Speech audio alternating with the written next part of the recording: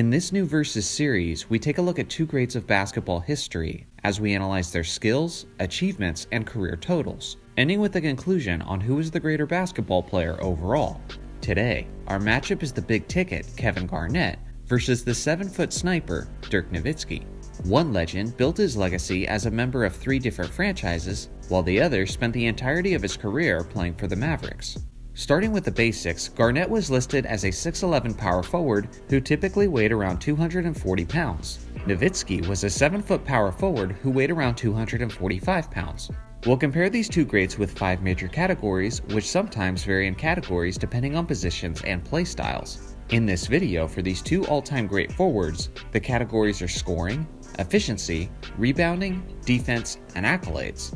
Both of these greats made their mark as elite scorers in the league, as Garnett is in 18th place on the all time scoring list with over 26,000 points. He has no scoring titles in his career and had a career average of 17.8 points. His career high was 47 points against the Suns in 2005, and he averaged 18.2 points for his career in the playoffs, which ranks him 112th on the all time list. Now, Dirk is in sixth place on the NBA's all time scoring list with over 31,000 points. He also had no scoring titles and had a career average of 20.7 points. His career high was 53 points against the Rockets in 2004, and he averaged 25.3 points over his career in the playoffs, which ranks him in 15th place on the all time list. Garnett was a very good ball handler for his 6'11 frame, and he was excellent at creating his own shot. He had a smooth mid range jump shot that was extremely hard to defend considering his high above the head release point. Garnett always played within the flow of the offense for his team and wasn't the type to try to force any bad shots, as he never averaged more than 20 shot attempts per game. With that being said, his best season scoring the basketball was the 03 04 season, the year which he won the league MVP, and he averaged 24.2 points on the season. During the majority of his prime, he was typically averaging just barely over 20 points per game. Now, Dirk, on the other hand, had an even more difficult shot to defend, as the 7 footer consistently utilized his signature fadeaway, which is right up there with Kareem's skyhook as some of the most difficult shots to defend in NBA history. Dirk really slowed down quite a bit as he aged, but especially in his youth, he had a pretty quick first step and was capable of finishing strong on the paint. But obviously, what he was known for more than anything was his elite perimeter shooting, as he was consistently among the league leaders in three pointers made, with all of these skills and abilities at his disposal, he was frequently among the elite scorers in the NBA. His highest seasonal average was 26.6 points in the 05 06 season, and he had six entire seasons where he averaged more points than Kevin Garnett's best season. I could delve into more aspects, but the truth is, this category isn't all that close, as Nowitzki comfortably takes the scoring comparison. Second up is rebounding, and this is another category that isn't all that close. To put it simply, Dirk was not an elite rebounder. He wasn't known to play the game of basketball very physically, and it certainly wasn't his style to bang on the boards and fight for loose balls. For his career, he averaged just 7.5 rebounds per game. In his 21 seasons, he never once averaged at least 10 rebounds per game, which is pretty stunning considering the amount of minutes he played and considering the fact that he was a 7 foot power forward. Now, KG is the complete opposite of that, as he was an elite rebounder who was known for his physical nature around the painted area. For his 21 year career, he averaged 10 rebounds per game, getting as high as 13.9 in 2004. In four straight seasons from 2004 to 2007, he led the league in rebounds per game.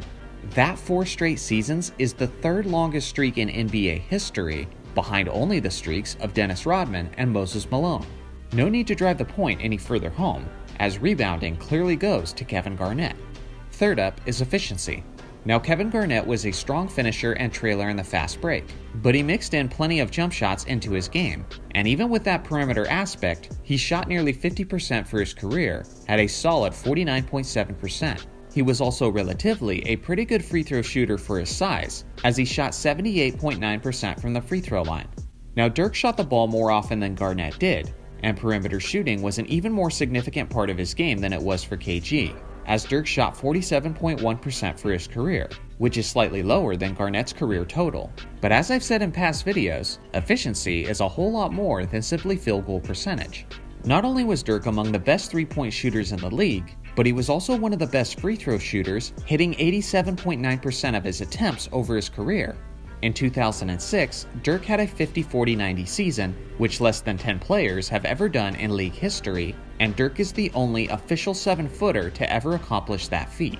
True shooting percentage factors in all kinds of shots on the basketball court, and when we look at that advanced stat, the edge is now in Dirk's favor.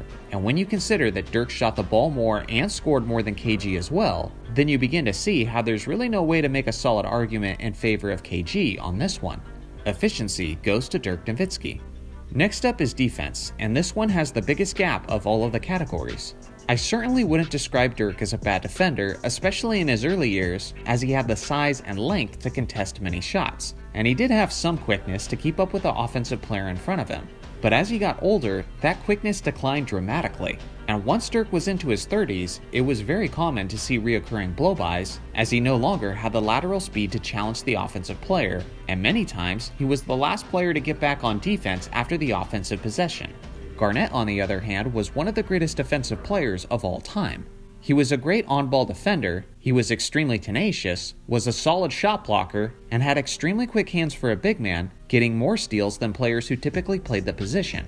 You could also argue that his intensity and leadership was contagious on the defensive end for his team, and it was common for him to lead with hustle and heart on that end of the court.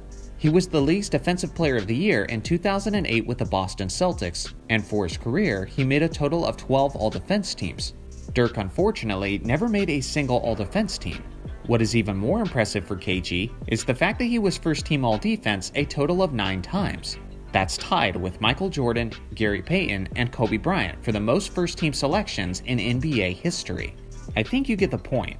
Garnett authoritatively takes the defensive category.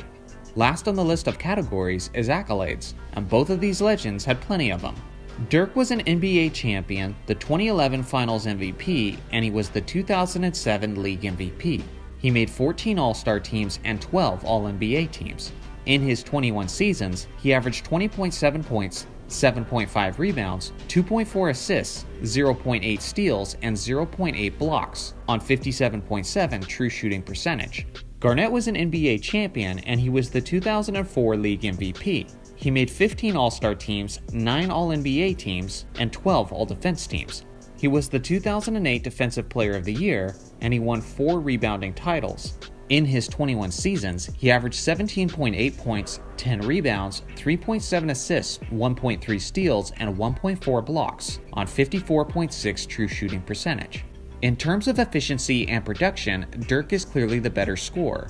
But as far as the better overall player, the more accomplished player, and the greater player on the all time list, those are all titles I give in favor to Kevin Garnett. If Dirk was also an elite defender, then I could certainly argue in his favor, but the big ticket simply impacted the game in way too many ways to overlook. In NBA history, only five players have ever won both the MVP award and the Defensive Player of the Year award during their career. Those players are Akeem Olajuwon, David Robinson, Giannis, Michael Jordan, and you guessed it, Kevin Garnett. To even further emphasize how much of a unique and special all around talent KG was, consider this stat.